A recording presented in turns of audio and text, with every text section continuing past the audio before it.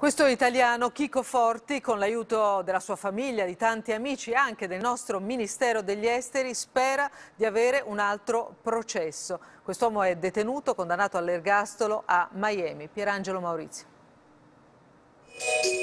C'è chi regala un pensiero, un dono. I sostenitori di Chico Forti sotto l'albero hanno messo un pacchetto speciale, un video in cui chiedono giustizia per l'imprenditore italiano. Forti si avvia al tredicesimo anno rinchiuso nel carcere di massima sicurezza a Miami, condannato in via definitiva all'ergastolo per omicidio. Grazie anche al sostegno del ministro degli esteri Terzi, ora si sta predisponendo la richiesta di un nuovo processo sulla base di nuovi elementi o di prove trascurate per dimostrare la sua innocenza. È cominciata anche la raccolta fondi.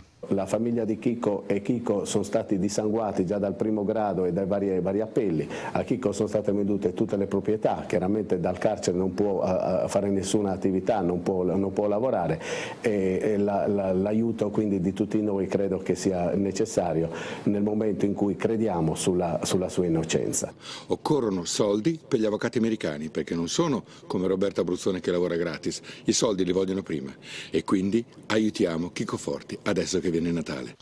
Quest'anno a chiedere un nuovo processo per Chico sono intervenuti in tanti, da Fiorello a Giovanotti alla criminologa Roberta Bruzzone. Per cercare di riaprire un caso e per nuove indagini difensive, negli States servono almeno 250 mila dollari. Ogni mese, ogni giorno che Chico Forti passa in carcere è, una, è un giorno di, di un innocente che, che sta scontando una pena che non deve scontare. Sul caso di Chico Forti si sono mobilitati gente comune e personaggi famosi, all'opposto del silenzio di gran parte della carta stampata italiana e della totalità dell'informazione americana.